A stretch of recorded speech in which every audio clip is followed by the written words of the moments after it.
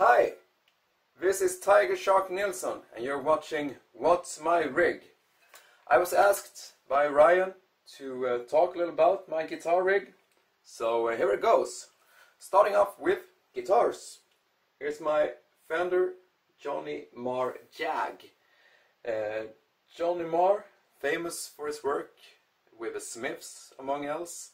I'm a big fan, so of course I had to get this guitar. Um, works great for surf music, in my opinion. Uh, we've got a great whammy bar, a pickup selector with many options, uh, and some high pass filters and stuff. Great guitar, hands down. I like it a lot. Uh, I've got some other guitars as well.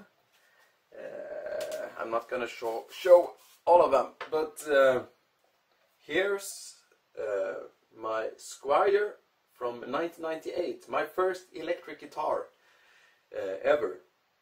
Uh, I asked Guitar Geeks here in Stockholm to do some modifications on it, and they were like, "Are you sure?" because this will cost a lot. Um, but I was like, yeah, yeah, I like this guitar, but it needs upgrades. Uh, so we changed the pickups to uh, Lundgren 60s set. Lundgren is a Swedish pickup maker, makes great stuff.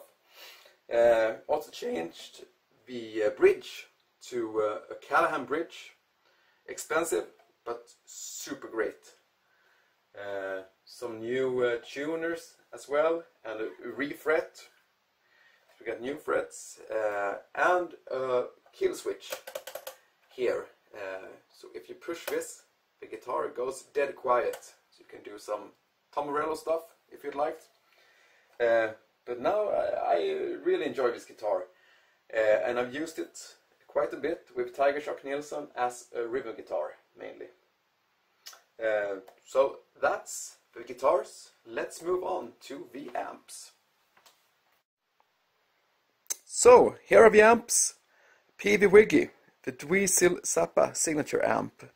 Uh, I'm a massive Dweezil Zappa fan, so of course I needed to have one of these.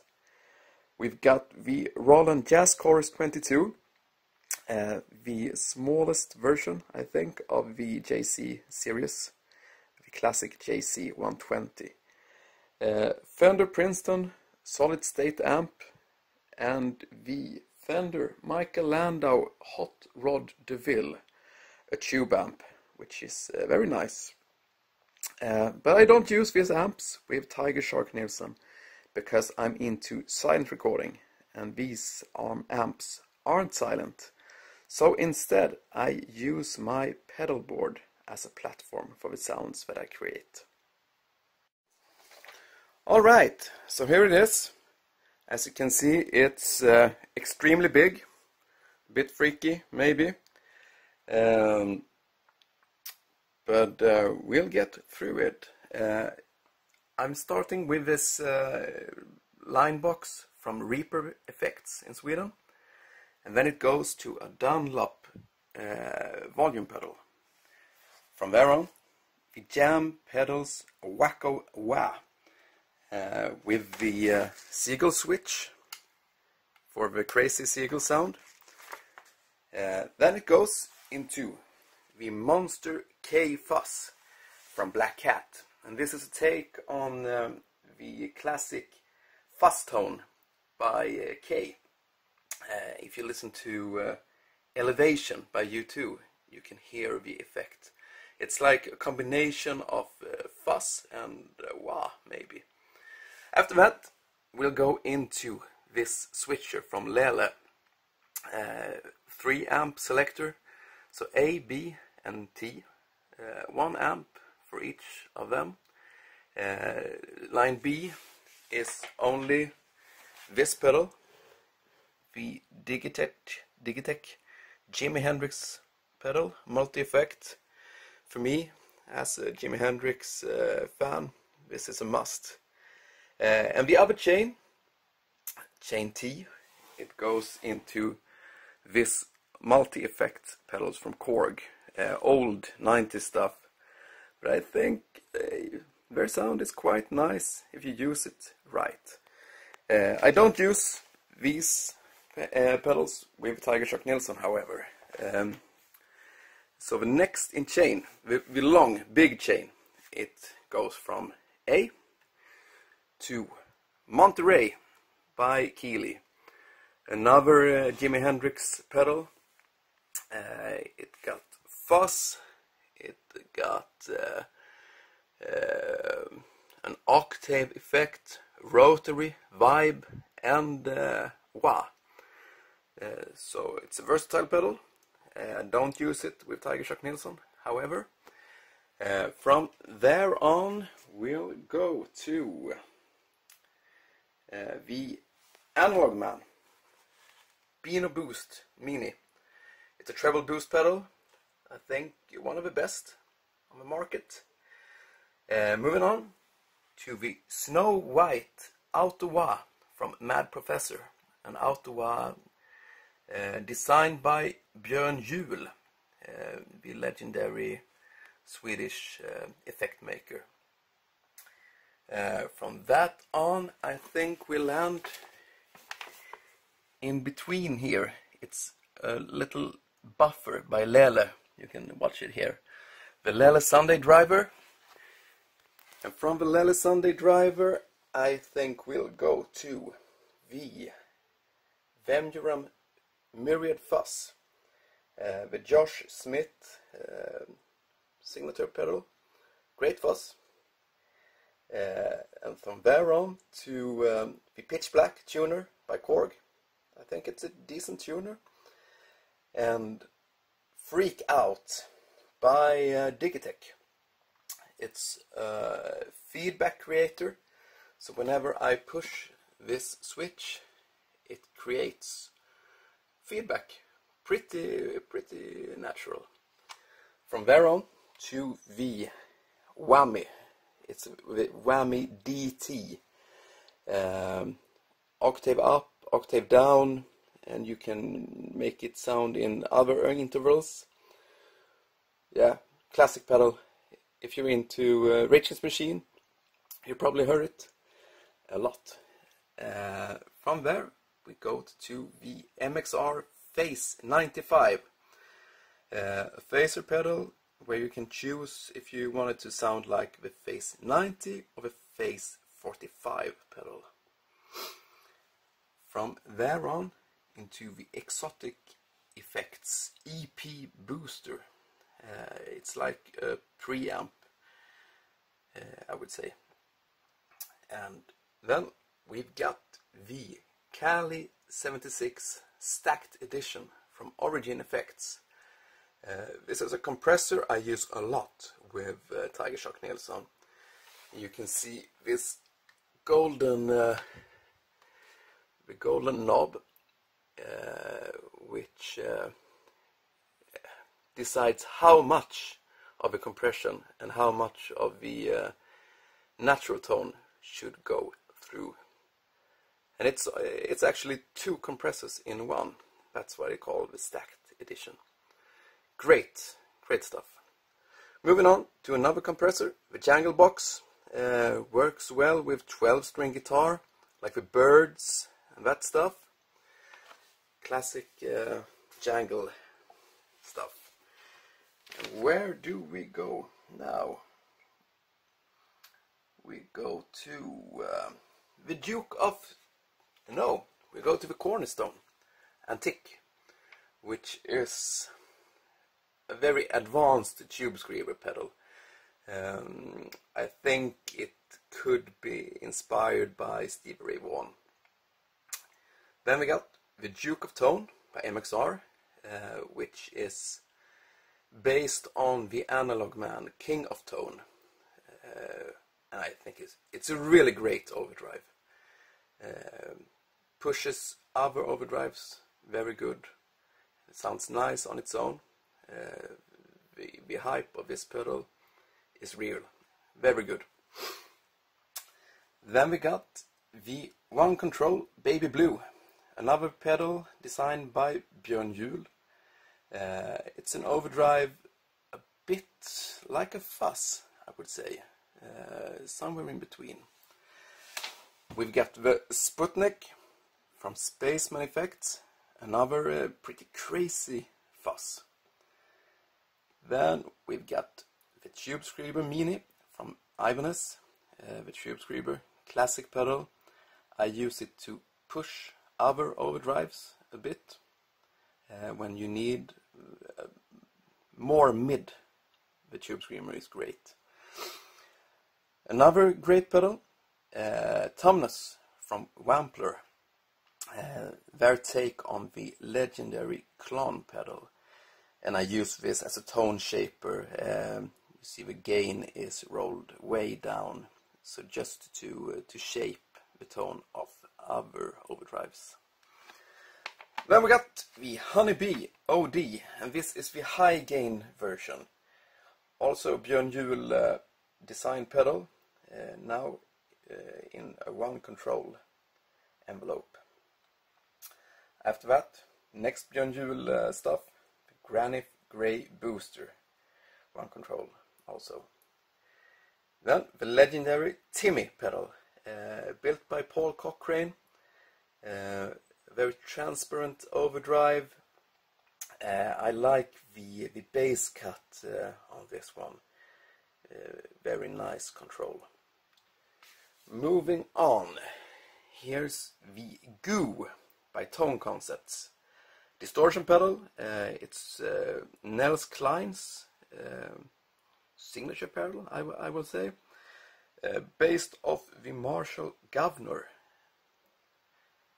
Uh, I think they made 250 pieces of this, uh, so it's pretty rare pedal. distortion, not something that I use with Tiger Shark Nilsson. We've got the ODRC by Nordland. Uh, and this is a take on the uh, the Nobels ODR1, uh, the classic pedal which is used a lot in Nashville, I'm told. This pedal is built by the original um, uh, designer of the ODR, uh, the Nobels ODR. But this is his own pedal and it, this has uh, great stuff like the low cut filter because the Nobels ODR1 is very very bassy. And uh, to uh, cut that we've got this little knob right here. Uh, moving on. The Wizard by Olsson Amps here in Sweden. Uh, I use this for uh, pretty high gain stuff. Very cool pedal. We've got the Gladio by Cornerstone, an Italian company. Uh, and I think this should emulate uh, the tone of uh, Eric Johnson. You get two channels, one and two. Uh, two is more more heavy overdrive, and this is a lighter overdrive, I would say. Uh, I used uh, the first channel on the Tiger Shark Nilsson song Killer Whale needed more more overdrive than I usually do when I recorded that song. So uh, this is my choice for that song.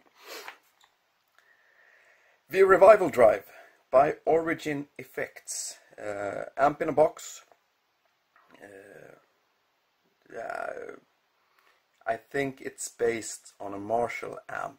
Uh, you can get great sounds out of this pedal.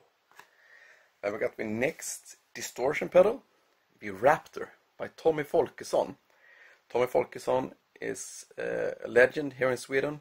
Uh, he's often modding Marshall uh, amps, uh, and this is his take on a, on a Marshall amp, and it's it's really high gain, Van Halen stuff, and that works great with this one.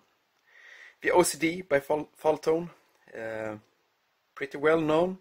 Uh, nice overdrive. The Lightspeed by Greer Amps. I use this pedal a lot with uh, Tiger Shark Nilsson. Just a little light overdrive that makes the sound come alive. Uh, one of the best uh, low overdrive pedals I've heard. And then there's the last overdrive uh, distortion fuzz pedal and it's the Turbo Rat by Proco. Uh, also classic pedal, the Rat pedals. Uh, pretty gritty if you like it too. Uh, then we'll go into modulation. First of all, the uh, flanger, the Aurora flanger by Spaceman Effects. Uh, lots of knobs, um, but it can sound great if you just turn them as uh, they should be. And uh, then we got the SY1 by Boss, a synthesizer uh, emulator. We got different different types of uh, emulations. I like the organ emulations a lot. I've used that for recordings uh, to fake an organ. Sounds uh, pretty authentic. The chorus CE2 classic chorus from Boss. Um, one of the most classic chorus uh, pedals of all time. Then we got a phaser pedal from Digitech, the hardwire wire stereo phaser, very versatile phaser. VB2 from Boss, which is a vibrato pedal. I use it uh, in the unlatch mode uh, for very extreme uh, vibratos. MXR Univibe, great vibe pedal, uh, easy to use, sounds good. BF2 flanger by Boss, another flanger. Um, I think this works very well in a pop context. Uh, and we got the TR2 from Boss, uh, a tremolo pedal. I use this in a pretty extreme uh, setting, uh, something that might Tom Morello would dial in, I think. And moving on, we've got the small clone, the classic uh, pedal from EHX. Instant Kurt Cobain sound, uh, come as you are, uh, comes to mind. Um, yeah, nice sound. Then we go to the Hughes and Kettner Tube Rotosphere, uh, a roto pedal. Uh, I think it's the best I ever heard, uh, to be to be honest. Uh, moving on, Catalinbread, zero point uh, flanger. Uh, another type of flanger. It's just on and off on this, and you get this switch to make it go to the zero point. Pretty cool, but you need overdrive in front of it to make it sound really good. Then we're heading to the delay section. Here's the DD3 by Boss.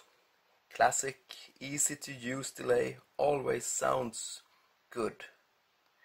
Uh, yeah, great, uh, great delay. The next delay, the Rubberneck by uh, DOD. Uh, it's uh, got some crazy stuff which you can do. Uh, the Rubberneck effect, um, and there's some oscillation effects also. Sounds good. Uh, easy to use. The next delay is the Belle Epoque Deluxe from Catalinbread. Uh, and it got the uh, preamp from the Belle Epoque, um, the EP, EP3, uh, and um, also the Echo, of course. Uh, I think this sounds great. Also makes the sound come alive. I used this on uh, Sunset uh, to make the sound uh, get bigger. Yeah. Next pedal I used for Sunset is the Obscura Alter Delay by Digitech. Uh, I use this as a backward delay. Uh, so what you play comes out backwards from the pedal. Very cool, but it can do a lot of stuff. Uh, yeah. Then we got the Canyon from EHX. Another delay pedal with a lot of uh, different options. Yeah, nice, nice stuff. The Feedbacker Booster from Boss FB2. Uh, and this I, I, use it for, for a volume boost. Uh, you could also, if you just press this and hold it, uh, get a bit of feedback, but I don't think this feedback is as good as uh, the one you get in, in the Freakout. Uh, so that's not really I, uh, something I use. I use it more for like a solo when I when I have a guitar solo. I engage this one. That's the freeze from EHX also. Uh, and when you push this switch, it freezes the sound. So what you're playing stays uh, like a, a, piano pedal, really. Uh, cool stuff. Moving on, we've got another delay pedal, the Space Echo RE202 from Boss. Uh, the, class, the classic Space Echo, the, uh, the rack unit here in a pedal size. Very well made. Uh, I haven't used it with Tiger Shark Nilsson yet, um, but I think I will. Uh, it's a cool sounding unit. And we've got the 30 milliseconds double tracker from Keeley, a pedal uh, which makes uh, the sound sound double tracked add some reverb, uh, get some different uh, options. Pretty cool. And this gigantic unit is the Korg SDD 3000 pedal.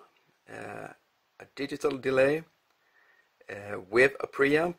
Uh, it uh, emulates a classic rack stuff used by the Edge, if I'm correct um, you can do very much stuff with this pedal.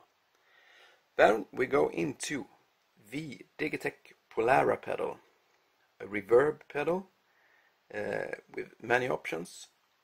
It's in the same series as the Obscura delay pedal. I think these pedals are, are very well made.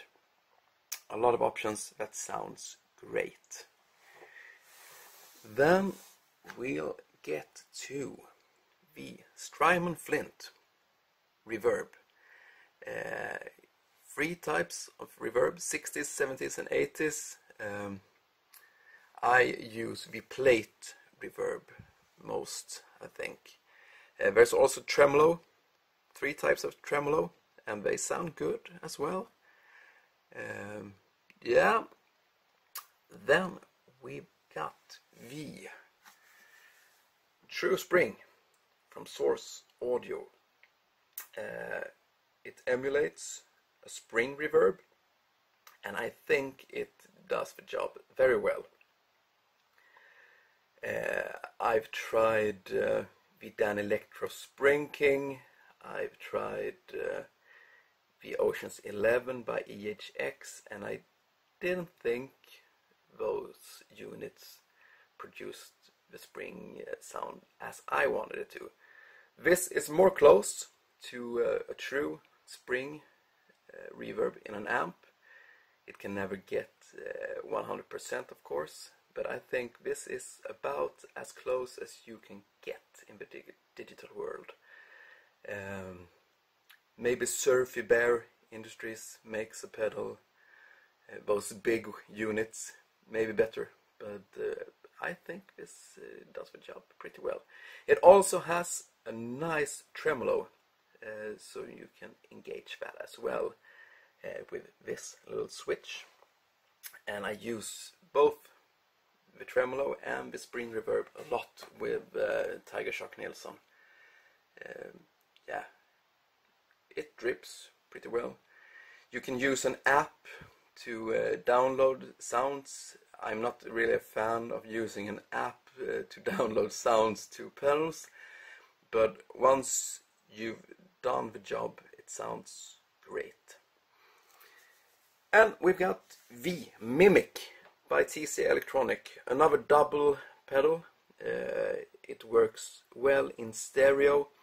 I don't think it works well in mono, so you uh, you should use it in stereo. Uh, yeah, and some buffers down here uh, from one control and from road rage to uh, to get the, the signal strong because the signal goes through a lot of pedals here uh, so you really need buffers uh, so it won't weaken out especially in the treble uh, uh, it can get pretty dull otherwise. And finally the Strymon Iridium uh, which is uh, an amp in a box an amp simulator and you got three different amps the Fender, the Vox and the Marshall and uh, it got uh, different cabs as well on these ones. Uh, I think this is the best amp simulator I've ever tried. it sounds authentic. I think you're like in 95, 96, 97% of a real true amp with this pedal. So this is what I use with Tiger Shark Nilsson so I can record at home uh, and I won't disturb neighbors. Uh, I can work early mornings, late nights, uh, and no one gets angry. So it's really a great unit. Made my life so much easier, much easier than to uh, mic up an amp. Always sounds good. Uh, yeah, I definitely definitely recommend it. So that's my rig. You can watch it here. Uh, it's of course crazy. It's not mobile. Uh, it just stands here uh, as a studio uh, effect board. But I think it works very well. Whenever I need a sound, I probably can do it with all of these pedals. Uh, yeah. Alright, thank you for watching. Hope you enjoyed it. Thank you, Ryan, for inviting me. Uh, all the best. Cheers!